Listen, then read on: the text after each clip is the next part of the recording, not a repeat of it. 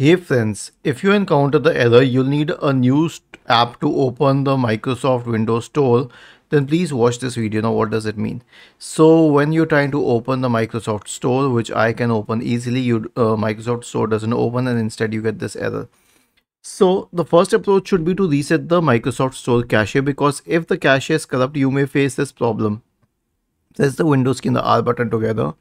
Type the command ws reset and hit enter. This will open the Microsoft Store in let's say 40% of the cases. But if it doesn't, don't go for the solution. Simply copy this command line, which I will share in, in the description section.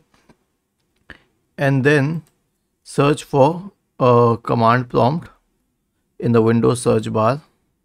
Sorry, search for PowerShell and then select run as administrator in the right pane, paste it here and then hit enter and this will completely reset the Microsoft Store though it will need a while for that but it will completely reset the Microsoft Store.